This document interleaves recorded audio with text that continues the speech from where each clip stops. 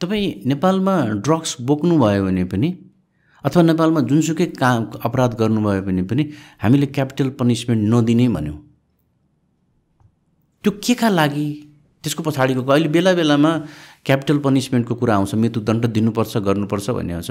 मैले पनि यो अहिलेको देवानी फौजदारी संहिता आइराख्दाखेरि टु थाउजन्ड फिफ टु थाउजन्ड सेभेन्टी फाइभमा यसले जसरी सजायहरू बढायो अल्टिमेटली चार पाँच वर्षमा नेपाल नेपाल चाहिँ मृत्युदण्डको मृत्युदण्ड दिने कानुन बनाउनेमा पुग्छ भनेर डिक्लेयर गरेका थिएँ। त्यो भनेको दुई तिन वर्षमा नेपालमा मृत्युदण्ड मृत्युदण्डको क्वेसन पार्लियामेन्टमा उठ्न थाल्यो। That does make sense to me म त एकदमै against capital punishment especially where a country like us जहाँ चाहिँ एभ्रिथिङ इज करप्टेड र रङ डिसिजन भने इट्स नो बिग डिल जस्तो हिसाबले लिइन्छ।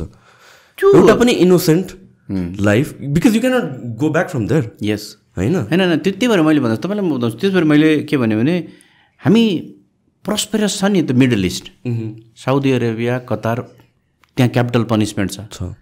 हामीभन्दा धनी छ हामी कल्पनै गर्दैनौँ त्यहाँ पुग्छौँ भन्ने कुरा। हामी सानो धरहरा हुँदा खुसी हुन्छौँ त्यहाँ बुर्ज खलिफा छ जो संसारको सबैभन्दा अग्लो छ होइन? भनौँ न एकछिनको लागि हामीहरू एउटा धरहरामा रमाएको छौँ धरहरा आयो भन्ने छौँ। हामी यत्रो सानो धरहरामा रमाएको छौँ।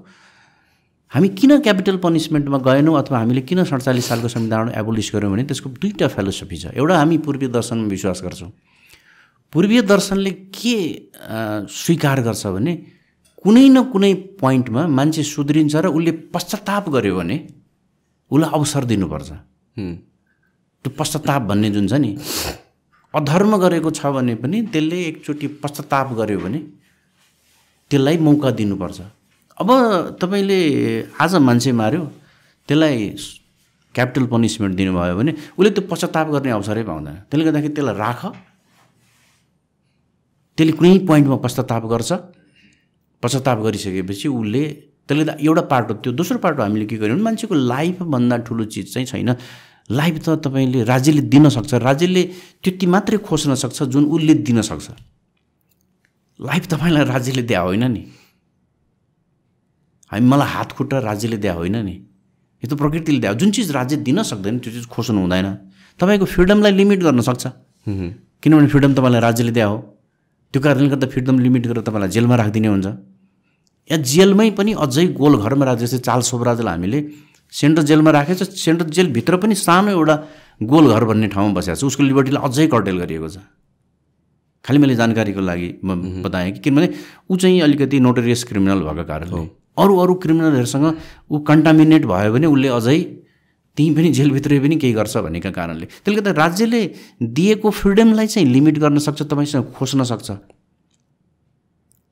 तर राज्यले जुन चिज दिएको छैन लाइफ दिएको छ त्यो खोज्न सक्दैन। र फेरि यो के हो भन्दाखेरि भने जहाँ डेमोक्रेसी छ जहाँ रुल अफ ल छ जहाँ जस्टिसको कुरा गरिन्छ त्यो देशमा प्रिभेल गर्छ। तपाईँलाई दुईवटा उदाहरण म फेरि इन्डिया र पाकिस्तानको दिन्छु यो विषयमा। बम्बईमा सिरियल ब्लास्ट गरायो एउटा व्यक्तिले। कासाब भन्ने मान्छे थियो पाकिस्तानी थियो। त्यो मान्छेलाई इन्डियाको बम्बईको रेलवेमा पुलिस रेलवे स्टेसनमा भाग्दै गर्दा पुलिसले समात्यो। त्यहीँ सुट गरिदिएको भए पनि जय जयकार हुन्थ्यो। सुट गरेन। अदालत के अरे उसलाई मुद्दा चलायो। तल्लो अदालतले मृत्युदण्ड दियो। हाइकोर्टमा गयो मृत्युदण्ड दियो। सुप्रिम कोर्टमा गयो त्यहाँ पनि मृत्युदण्ड दियो। राष्ट्रपति कहाँ? उसले पिटिसन दियो राष्ट्रपतिले पनि मृत्युदण्डलाई कन्फर्म गरिदियो। उसको त्यो होल त्यो प्रोसेसमा इन्डियन गभर्मेन्टले लयर हायर गर्यो। त्यो लयरलाई इन्डियन गभर्मेन्टले पैसा दियो त्यो लयरले उसको तर्फबाट डिफेन्स गर्यो। तपाईँलाई अचम्म लाग्ला कसबको जेलमा बसेको किचनको खर्च मासिक पाँच लाख रुपियाँ भारू थियो जुन स्टे जुन सरकारले दिन्थ्यो।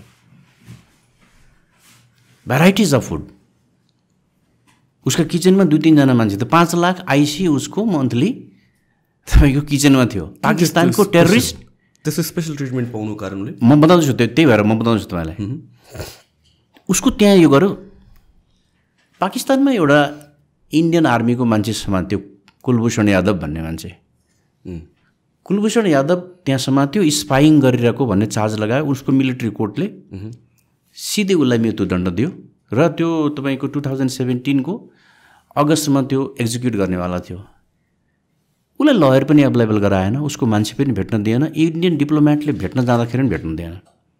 इन्डियनहरू इन्टरनेसनल कोर्ट अफ जस्टिसमा गए र ती इन्टरनेसनल कोर्ट अफ जस्टिसले चाहिँ त्यो प्रपर रिप्रेजेन्टेसनको राइट तिमीले नदिएको हुनाले त्यसको त्यो इन्जोय गर्न नदिएको हुनाले त्यो एक्जिक्युसन चाहिँ स्टे गरिदियो रोकिदियो। र आजसम्मको दिनमा त्यो कुलभूषण यादवको मृत्युदण्ड रोकेर बसेको छ। इन्डियाले किन त्यो खर्च गर्यो भन्दाखेरि भने म तँलाई मार्ने त्यो कन्फर्म हो तर तेरो कुरा चाहिँ सुन्छु। र होल त्यो प्रोसेस जे छ नि जस्तै भनौँ न एउटा एउटा मान्छेलाई मृत्युदण्ड दिनको लागि डिस्ट्रिक्ट ट्रायल कोर्टमा ट्राई पऱ्यो उसलाई हाइकोर्टमा जाने अवसर दिनु पऱ्यो लयर एभाइलेबल गराउनु पऱ्यो भाषा बुझ्दैन भने ट्रान्सलेटर एभाइलेबल गराउनु पऱ्यो एभ्रिथिङ दिन्छु फेरि पनि मार्छु। पाकिस्तानले त्यो त्यो होल प्रोसेसै छोडिदियो। केही पनि गरेन। अब यसै मारिदिने त्यसै मारिदिने हो मारिदिने गर ती कारणले गर्दा के भन्दाखेरि उसको सिस्टममा उसको त्यो ड्यु प्रोसेसमा मान्छेले ट्रस्ट गर्छ र त्यो कारणले गर्दा के भयो भन्दाखेरि इन्डियाको डेमोक्रेसी भन्नुहोस् या इन्डियाको जुडिसियरी भन्नुहोस् अथवा त्यहाँको जस्तै सिस्टमलाई मान्छे रिलाइ गर्छ पाकिस्तानको लागि रिलाइ गर्दैन। यो यो चिजहरू चाहिँ के हो भन्दाखेरि मैले यहाँ पनि जोड्न खोजेको त्यो ड्यु प्रोसेसलाई फलो गर्दा इन्डियन गभर्मेन्टलाई ठुलो तपाईँको आरोप लाग्यो। तत्काल मारिदिनु पर्नेलाई बेकारको वकिल उपलब्ध गराएर त्यत्रो खर्च गरेर तर तपाईँको सिस्टममा क्वेसन नउठोस्।